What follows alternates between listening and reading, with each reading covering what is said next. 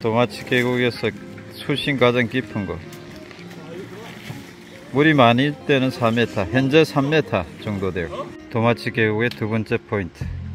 아, 물놀이 하기 좋은 곳입니다. 맑고 커다란 바위가 있고 주변에 실 그늘이 있습니다.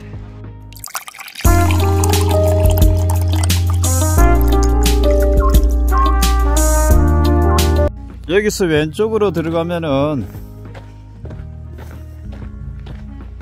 계곡이 깊은 곳이 나옵니다.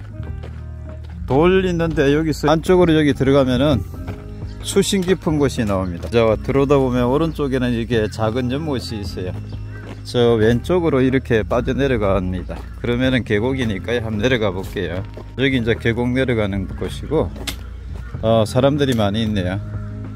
여기 이제 가장 계곡이 깊은 계곡 수심 뭐 4m라고 나와 있어요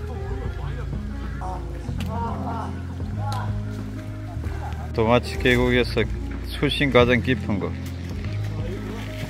물이 많을 때는 4m 현재 3m 정도 돼요 사람들이 좀 수영을 하고 계셔. 계곡 우측으로 살짝 올라오면 이렇게 언덕이 나오고요. 예, 요 아래에 이제 수심 깊은 곳이 있습니다. 고기도 보이고 막 그러네. 수영하는 곳입니다 여기 가벼운 다이빙도 가능하네요. 여기서 가장 수심이 깊은 곳. 저기 현재 수심이 현재도 3m 어, 깊을 때는 4m 곡물이 저 위에서 이제 폭포처럼 해서 쭉 내려가 큰 바위 사이로 좁은 물로 해서 내려오네요.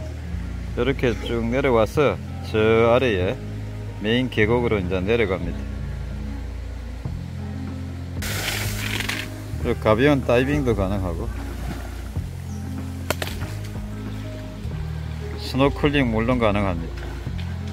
많은 사람들이 이용하는 곳입니다 여기. 도마치 계곡의 수심 가장 깊은 포인트 1번에서 아, 이제 빠져나가도록 하겠습니다. 나갈 때는 약간 위로 빠져나갑니다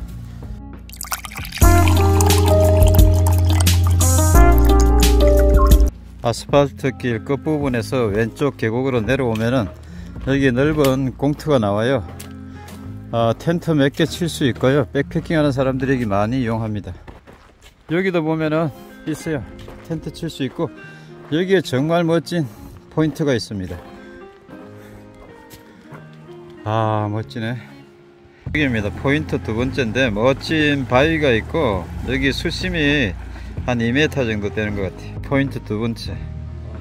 정말 멋져.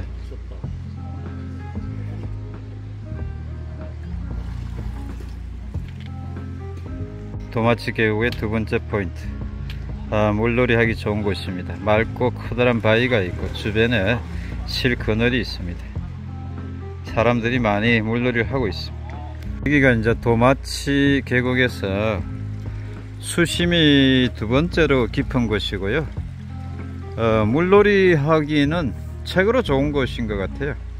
주변에 암벽이 있고 저 바위 보세요 그리고 여기 깊은 곳은 물이 깊을 때는 한 2m 되는데 지금 한 1m 20 정도 되는 것 같고 요 위에는 이제 백패킹 할 수 있는 공간도 있고요. 두 번째 포인트 바로 오른쪽에 있는 이 백패킹 장소입니다. 이 텐트 한 두세 개 정도 칠 수가 있고요. 이제 두 번째 포인트에서 나가도록 하겠습니다